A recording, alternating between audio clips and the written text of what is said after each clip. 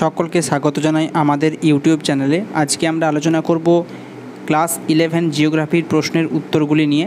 দেখো, গ্রুপের উত্তরগুলি আমি বলে দিচ্ছি, আর গ্রুপ বির একটা প্রশ্ন তোমাদের খুব কনফিউশন রয়েছে সেটাও বলে দেবো। তো প্রথম প্রশ্ন দেখো, মৃত্তিকা বিজ্ঞান একটি শাখার নাম, উত্তর হবে পেডোলজি। পরের প্রশ্ন, গ্রহকণিকা মতবাদের প্রবক্তা, এর উত্তর হবে চেম্বারলিন ও মুলটন।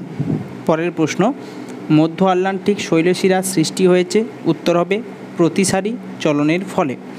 পরের প্রশ্ন, নিম্নলিখিত কোনটির মধ্যে ঘনত্ব সর্বাধিক?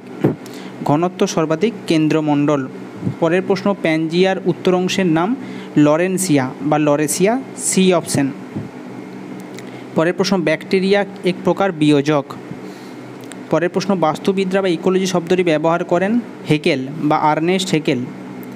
একটি পুষ্টিস্তর থেকে স্থানান্তরের শক্তির পরিমাণ হলো দশ শতাংশ ডি অপশান পরের, ভূগোলে স্থান শব্দটি প্রথম ব্যবহার করেন হবে Emrys Jones D option Emrys Jones.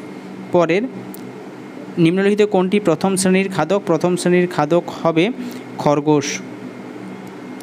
পরের প্রশ্ন, জলবায়ুভেদে উদ্ভিদ প্রাণীর বাস্তুতান্ত্রিক বিন্যাসকে কী বলা হয়? উত্তর হবে বায়োম।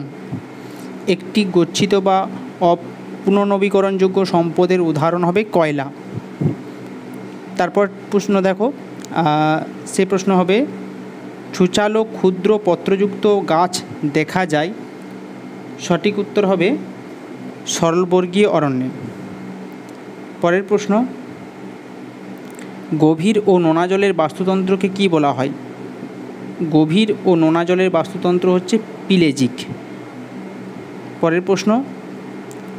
জোড়ায় জঙ্কুরগম দেখা যায়, ম্যানগ্রোভ অরণ্যে।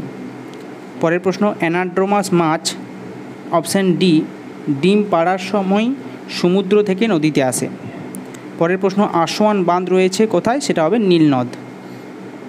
এরপর তোমাদের যে প্রশ্নটা কনফিউজ রয়েছে, আমি বলে দিই, তারপর আগে শর্ট কোশ্চেনগুলো শেষ করে দিই। ভারতের নলকূপ পদ্ধতিতে সেচ কাজ করা হয় সিক্সটি সিক্স পার্সেন্ট জমিতে। অভ্র উৎপাদনের শ্রেষ্ঠ দেশ, অভ্র উৎপাদনের শ্রেষ্ঠ দেশ হবে চিলি। পরের প্রশ্ন, গুজরাটের লাম্বা হলো একটি বায়ুশক্তি কেন্দ্র। অস্ট্রেলিয়ার ভূমিভাগের অধিকাংশই হলো তৃণগুল্ম ভূমি।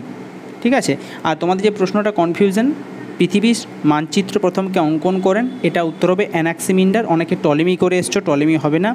মানচিত্র অঙ্কন করেন অ্যানাক্সিমিন্ডার। তারপর পৃথিবীর সৃষ্টির আধুনিকতম তত্ত্বটি নাম হলো বিগ ব্যাং থিওরি ঠিক আছে? বিগ ব্যাং থিওরি আর জনসংখ্যা ভূগোল তোমরা পারবে, ম্যাগমা লাভার মধ্যে পার্থক্যও পারবে এগুলো খুবই সহজ প্রশ্নই এসছে, দেখো।